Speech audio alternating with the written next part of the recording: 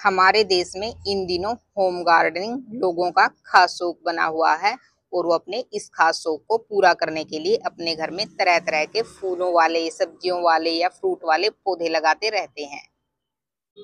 ज़्यादातर home gardening करने वाले लोग अपने घर में फूलों वाले पौधों को बड़े पैमाने पर लगाते हैं, क्योंकि फूलों की देखभाल आसानी से की जा सकती है।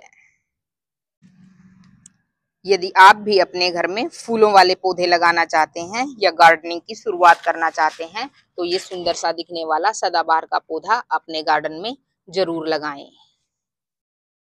सदाबहार का पौधा लगाने के लिए आप इस तरह से एक मीडियम साइज़ के गमले का यूज़ कर सकते हैं। इसको ज़्यादा मिट्टी की ज़रूरत नहीं होती है। यह छोटे से गमले में भी अच्छे से सरवाइव कर जाता है। सदाबहार के पौधे को लगाने के लिए आप गमले में मिट्टी, रेत और थोड़ी सी वर्मी कंपोस्ट इन तीनों का मिक्सचर बराबर बराबर मात्रा में लेकर उस गमले में भर सकते हैं। ये सब चीज़ें आप गमले में भरने के बाद अपने पड़ोसी से या आप नर्सरी से लाकर सदाबहार की कोई टहनी गमले में लगा सकते हैं। इसकी कटिंग भी आसानी से चल जाती है और यदि आप बारिश के सीज़न में लगाएँगे तो वो आसानी से ग्रो हो जाती है। उसके मरने के चांसेस बिल्कुल भी ना के बराबर होते हैं। सदाबहार का एक पौधा लगाने के बाद आप उससे ढेर सारे पौधे बना सकते हैं।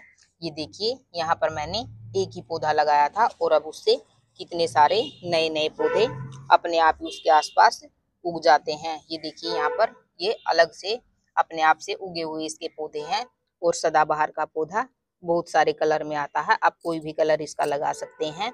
यह डार्क पिंक कलर में आता है, पर्पल कलर में आता है, व्हाइट कलर में आता है, येलो कलर में आता है, ब्लू कलर में भी इसका पौधा आता है, आप जिस कलर को पसंद करते हैं, उसी कलर का पौधा अपने गार्डन में लगा सकते हैं और इसके फूल पूरा साल आपको गार्डन में खिलते हुए नज़र आएँगे। इसीलिए इसको सदाबहार का पौधा कहा जाता है। सदाबहार का पौधा गमले में लगाने के बाद आप गमले को ऐसी जगह पर रखें जहाँ पर छह से आठ घंटे की धूप ज़रूर आती हो। यह ज़्यादा धूप पसंद करने वाला पौधा होता है। यदि आप इसको छाया वाली जगह पर रखेंगे तो ये अच्छे से सरवाइव नहीं कर पाएगा और ना ही इसमें इतने सुंदर सुंदर फूल आपको देखने को मिलेंगे। आपको इसकी मिट्टी में ज़्यादा पानी नहीं डालना है, बस हल्की सी नमी बनाए रखनी है और 30 से 35 दिनों के बाद आप इसमें कोई भी ऑर्गेनिक खाद डालते रहें। आप देखेंगे कि तीन से चार महीने में ही आपका पौधा कितने अच्छे से सरवाइव कर गया है और उस पर बहुत ही सुंदर फूल खिलने लगे हैं।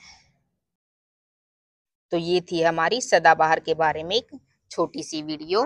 वीडियो आपको कैसा लगा कमेंट करके ज़रूर बताएँ। वीडियो को लाइक करें, शेयर करें और चैनल को सब्सक्राइब करना ना भूलें। इसी के साथ मिलते हैं नई वीडियो में।